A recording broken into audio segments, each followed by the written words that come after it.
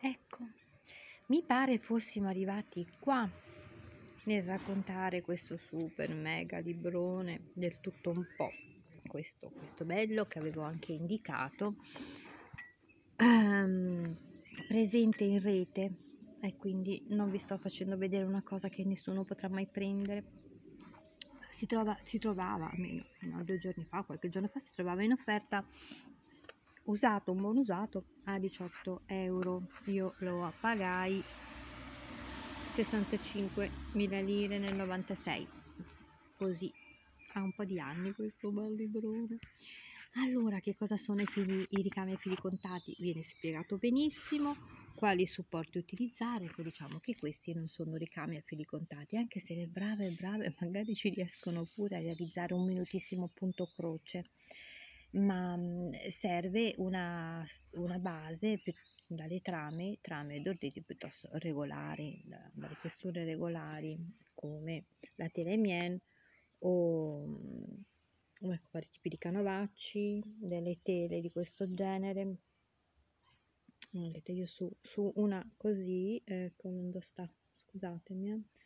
Eh. Eh, ecco, su questa in canapa realizzai un tappeto a, a punto croce con lana sarda, con stoppini sardi, alcuni di quelli tinti a mano. Si possono realizzare tante cose con i ricami a fili contati. I materiali sono tra i più svariati, delle belle lane cicciottose da tappeto come queste e possiamo realizzare tappeti piani anche a mezzo punto vedete vari punti vari motivi e tappeti a vello con lago o con il, il, quel bello uncinettone strano che ho in giro per casa poi magari un giorno lo prenderemo che non ho mai usato tra l'altro.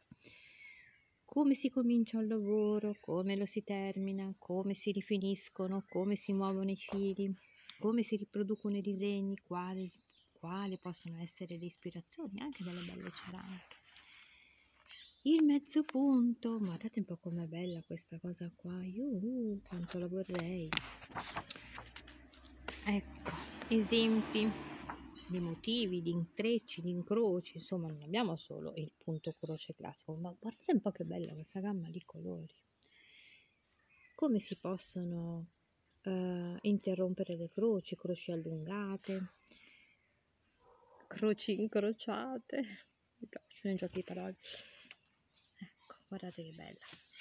I filati possono essere dei buoni cotoni, delle ottime lane e delle, delle lane da tappeto, quindi di solito sono lane a più capi, perché quando poi si va a tagliare il vello per pareggiarlo si aprono bene e creano quell'effetto puff puff eh, soffice e compatto, vedete?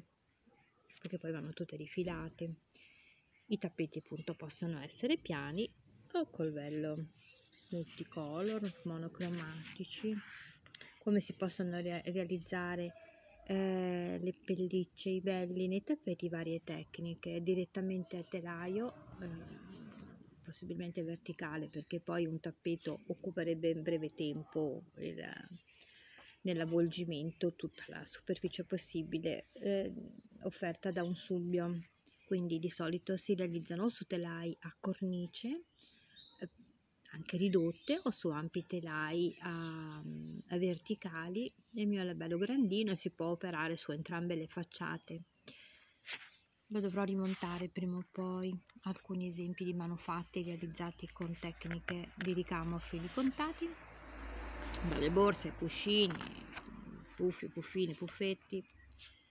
Guardate belle, gli chevron io le adoro e poi si può utilizzare la Zephyr la Zephyr è una lana a due capi tendenzialmente secca, bella e robusta, che messa doppia, è piuttosto sottile, più sottile della Sport. E messa doppia permette di realizzare dei calzini belli resistenti. Eh?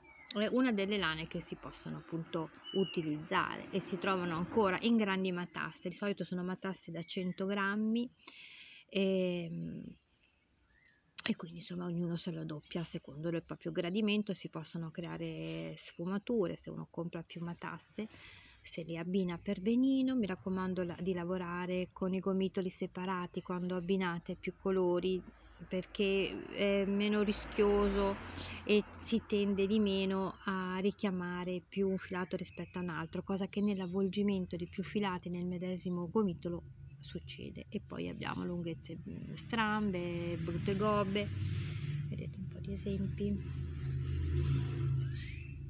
diverte molto anche i bambini ricamo appunto guarda che belli poi gli esempi dei colori pendenti, medaglioni, cartoncini, le mie partecipazioni di nozze con le rose. Ce n'ho una eh, che gira per casa, l'ho ritrovata. Come si manutengono questi, questi manufatti? Arriviamo al trapunto, al patchwork, al quilting.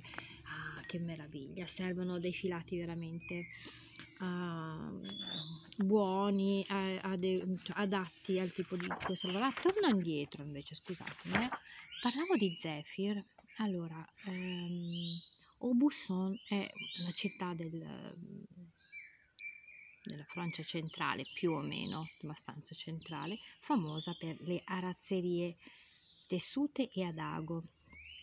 Perfetto. Per le arazzerie ad ago e ricami da tappezzeria eh, esistono degli artigiani che tingono a mano le zefir meravigliose. E io con una Zephyr proveniente da Aubusson, scusatemi, ho, ho oscurato l'obiettivo, realizzai questo scialle sciarpa, vissutissimo eh, perché eh, avrà 15 anni sto robo.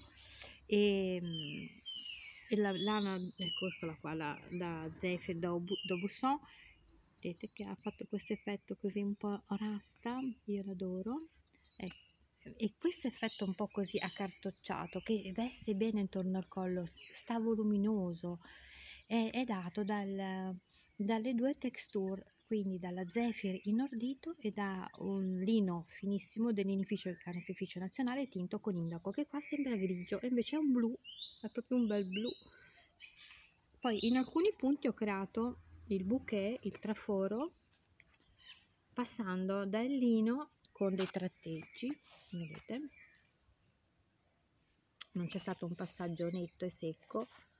Ho eseguito dei tratteggi con ora il lino ora il, um, il super kid mohair i tratteggi non arrivano da cimosa a cimosa sono degli inserti che bisogna saper gestire bene perché si possono creare dei buchi de, de, insomma, de, degli effetti non proprio estetici diciamo. E poi anche passando da cimosa a cimosa vedete le mie curve in cimosa. Scusate un po', un po', un po dietro eccolo qua ora si vede guardate che, che, tirata secca che ho dato qua. Ma è facile anche che abbia tirato un filo eh. ho tirato un filo infatti. Perché qui c'ho il gatto che proprio un po' le spille che adopero un po' il gatto e, ed ecco che si creano delle sfumature alternando i giri con colori differenti. Vedete pian piano si intensifica il blu del Kid Mohair e sono arrivata sempre direttamente al Kid Mohair eccolo qua che lo vedete negli spazi. E questo traforo si chiama bouquet è un traforo tipico um, anche della biancheria da casa soprattutto della biancheria da casa e che ci permette di realizzare dei motivi delle cornici. E, e, poi vabbè ne parleremo quando riaffronterò l'argomento tessitura. Ecco dall'altra estremità il, la, il traforo è più basso. Io realizzo sempre pezzi mai speculari. Non credo nella simmetria eh, soprattutto quando realizzo le mie tele. Non mi piacciono le simmetrie e non le propongo ecco e quindi ritorno al librone. Quindi una bella, una bella Zephyr da Aubusson che veniva venduta in belle matasse anche questa. Da 50 grammi in quel caso lì non da 100 poi io l'acquistavo da una ricamatrice francese che risiedeva a Milano e là proponeva i suoi lavori. Quindi restauri di tappezzerie ricamate e mm, arredi insomma dai paraventi in poi e poi si, si ritrasferì purtroppo in Francia, non so perché, non ebbi il coraggio di chiederlo. E, e poi notai che dal sito indicato um, certi, certi materiali non, non erano più reperibili purtroppo. Alcune mie allieve hanno quei filati. Arriviamo al patchwork. Cosa serve per realizzare il patchwork? Delle buone, delle buone forbici, un bel cutter, taglierino, un bel piano di taglio, aghi specifici, il um, cotone per il trapunto che non è un semplice cotone forte, è un cotone straforte, un pochettino più spesso e che ci permette di realizzare bellissimi motivi con la tecnica del trapunto. Ecco come si possono creare le mascherine, viene spiegato cosa servono gli spilli con la capocchia, io preferisco quelli con la capocchia a fiore schiacciati e quello permette una cucitura svelta sotto la macchina da cucire. Cioè, insomma, esistono delle tecniche sia per assemblare che per tagliare, assemblare, ma soprattutto per cucire a macchina a mano bisogna cucire ecco qua un po' di io il compasso non l'ho mai utilizzato ma non è che ho fatto poi tantissimo il patchwork il mio bel manufatto chissà dove è andato però ho nel baule delle stoffe ho le pezze per realizzare un copriletto patchwork eh, con de, delle, mm, delle pezze quadrate rettangolari. Ho già tutta la passamaneria necessaria ma è là che aspetta da, da tanti anni da quando ho fatto il mio corso. Colpo di fortuna fu questo che io già frequentavo l'associazione del tappeto parlante proposero tutta una serie di corsi quindi io frequentai il corso per arazzi e tappeti con Carmen Moreno su telaio verticale. Già tessevo su, su telaio a Pettenerice, già tesevo da tutte le parti, diciamo che sulle ringhiere, ma e avevo già frequentato i corsi, le varie lezioni di storia del tappeto e mi propose la direttrice dell'associazione mi propose questa collaborazione, quindi l'associazione mi pagò tutto il corso e le spese, che meraviglia, che effetto che mi fece, io che venivo da tutt'altro mondo, insomma, sì, insegnavo, ma ecco, a fare altro e, e, fu una cosa bellissima perché la maestra veramente in gamba e il mio compito che cosa consisteva? Nell'andare in associazione un'ora prima dell'inizio del corso e dare supporto a chi era rimasto indietro, chi non aveva capito alcune cose, insomma, poi ci arrivavo molto prima, a parte perché per esigenze di, di metro, di treni, di spostamenti ma soprattutto perché mi faceva piacere stare in quell'ambiente, quindi arrivavo molto molto presto e davo una mano, è stato bellissimo, ho conosciuto persone splendide, ma veramente splendide. E, e quindi ne ho un po' rimpianto soprattutto per la signora Lucilla che non è più tra noi. Ecco, il cutter è questo, questa sorta di taglierino rotante alla barba spaziale, ecco queste cose qua, la riga capito una serie di punti di riferimento, insomma non si può sintetizzare una tecnica a breve tempo, io vi racconto semplicemente il libro, come può stuzzicarvi questo libro in tanti modi. Arriviamo al patchwork fantasia, ecco una mia leva di tessitura inglese a Ciampino da per tre anni perché il marito militare era di posto lì e era un'insegnante accreditata, non so come, insomma, ad insegnare eh, eh, presso um, degli istituti di, dei penitenziari, insomma, in, in Inghilterra, se la girava un po' tutta, era bravissima e realizzava dei patchwork tridimensionali da paura. Era uno spettacolo, aveva ricevuto un sacco di premi. Curiosissima e quindi lei aveva un po' staccato la spina venendo a bottega, imparando a tessere, ma lei faceva delle cose splendide. Ecco, se non mi piace, non sono una fanatica del, dell'uncinetto freeform, invece il patchwork fantasia mi attrae tantissimo. Ecco, questo pannello lo trovo incantevole e toccai in quell'associazione meravigliosa dei pannelli di etro che non ve lo sto a dire che cos'erano di meraviglie, anche patchwork.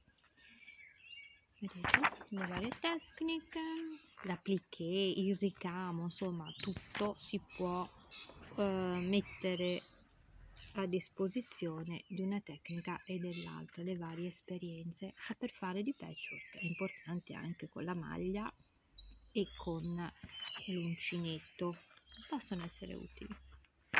Battete. la, macchina, la mia macchina da cucire non lo so, non l'ho più usata, avevo perso il um, pedale, poi l'ho trovato, da un trasloco all'altro tutto si perde, come si deve organizzare un lavoro quando si deve man mano aumentarne il volume e, e cucire il resto a macchina. I vari tipi di trapunto, ecco sono un'innamorata del boutique francese che è una sorta di imbottitura meravigliosa a, a, a, file di trapunto fitte fitte che creano un sacco di bei motivi di solito i putti sono monocromatici, quindi una grande tela che copre eh, la fodera che a sua volta copre l'imbottitura e un'altra fodera come interno.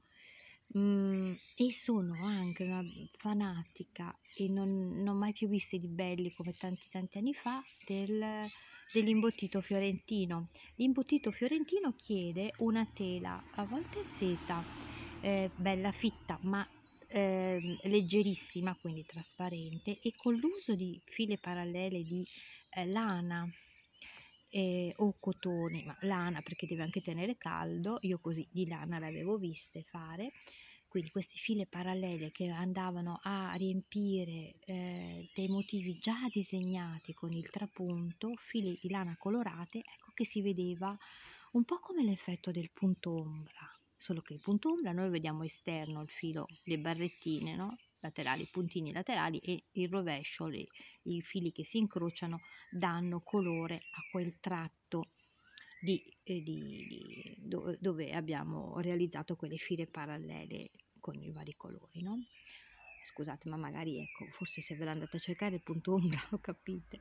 Io così non è che ve l'ho spiegato benissimo. Insomma, invece il trapunto fiorentino vuole prima un disegno e il motivo e il motivo si riempie con un'incisione da rovescio, bisogna essere molto brave perché poi slabrare il tutto non, non ci vuole niente, si inseriscono dei, delle gugliate di lana colorata ed ecco che in trasparenza emerge un, un, un motivo delicato a secondo poi del gusto di quello che si è andata a riprodurre i trapunti a me piacciono, mi piacciono le trapunte, le ho sempre avute, le ho usate per Camilla, ecco come si può bloccare ehm, se non si vuole eseguire tutto una, una, una trapuntatura intorno alle varie forme geometriche, ecco che i nodini possono bloccare fodera, telo superiore, quindi le formelle cucite e imbottitura. Per fare i nodini insomma serve un po' di tecnica, serve il filo giusto, ci sono i fili adeguati. I tappeti, i tappeti, ecco vedete questo uncinetto qua? Io ho tutti e due, ho quello blu e ho l'altro che è una sorta di punzonatrice buffa. Ecco come si fanno i tappeti, si riutilizzano come dicevamo prima per i fili contati i supporti adeguati, quelle reti, quei fondi, si fanno a, a seconda del, dell'attrezzo utilizzato ecco che noi possiamo realizzare delle asole dei nodini il vello le passamanerie che servono per bloccare la fodera sul rovescio. Quindi eccole qua questi, queste fettuccione da tappeto. Come si trasferiscono i disegni quando è il caso? Le mesh che le troviamo già tagliate e, e vengono, venivano vendute a pacchetti, adesso non lo so, a, a sfere. Ecco. Questi sono motivi. Io, io ho sempre amata quella pecora, non l'ho mai fatta. Ecco qua come si utilizzano. Vedete? Tappeti fatti a trecce. Ecco qui lo stesso. Utilizzare cose che già si hanno oppure acquistare a poco prezzo ehm, dei tessuti colorati, degli scampoli e crearsi il tappeto grazie a degli ottimi scampoli che devono avere più o meno lo stesso peso eh? ecco se no facciamo papocchi io amo questo cuscino qua. Ecco qui. Vedete varie tecniche come vengono spiegate poi sicuramente ormai su youtube troverete molto e molto molto ancora. Però questa io credo che sia un'ottima base un ottimo punto di riferimento. Dovessi mai mancare la luce dovessero essere scariche le batterie dei, dei portatili, dei cellulari, dovesse essere, che ne so, eh, in ritiro spirituale su qualche montagna, in qualche bella isoletta, in qualche pianoro meraviglioso. Ecco poi ci sono le spiegazioni. Vedete che belle le pagine un po' ingiallite? Sopra non si riesce a vedere. Eccolo qua, sì, ma io l'adoro. Il tempo sulle cose mi piace, mi piacciono anche i buchi. Io ho una, una ve la farò vedere, ho una tovaglietta che, sopra la quale sono state ricamate delle eh, ortensie, ha dei buchi spaventosi, mica glieli vado ad aggiustare, non faccio neanche il restauro conservativo, mi piace così com'è quella tovaglietta. E la uso per coprire il cestino dei panni da lavare. Ha dei colori che mi piacciono lì, eccola qua. Questa collana comprende questi titoli. Il libro del punto croce ce l'ho, punto croce creativo ce l'avevo, il libro delle cifre ricamate ce l'ho, mm. punto croce sul filo del colore ce l'ho, favole finestra che non ce l'ho, motivi, fiori e frutti da ricamare a piccolo punto non ce l'ho, uh, piccoli no, questo da ricamare non ce l'ho e questo è lei. Va bene, siete contenti? Aspettate, scusate che chiudo. Ecco, vi faccio vedere il cielo, che è ancora un po' azzurro. Saranno quasi le 16 ho bevuto questo tè all'aperto, anzi il tè sarà bello ghiaccio ormai, arrivano delle nuvolette, domani mi portano la legna. Ho trovato il legnaiolo per strada e guai a lui se domani mattina non mi porta la legna. Povero lui perché poi dovrebbe ripiovere e non si può, e non si può. Vedete che bello questo cielo, non è bello il cielo marezzato? Eh? Adesso come vi saluto, vediamo un po', perché tanto poi decide YouTube come far ripartire il tutto. E allora facciamo così, mi fermo qua. Eh? A presto, eh? A presto poi arriverò con i monotematici, i cashmere, i, non il, i cashmere, i cashmere, i mohair, i, i poi vedremo, anche i cotoni, belli i cotoni, i lini, mm? va bene, parleremo anche del bisso, del bisso di mare e di quello che le nostre nonne e bisnonne chiamavano bisso che non era la stessa cosa. A presto con la tazzina, con la tazzina e il sottobicchiere di Moena. Eh? Che bella che era Moena. È tanto che non vado più in Trentino, mi piace il Trentino. A presto.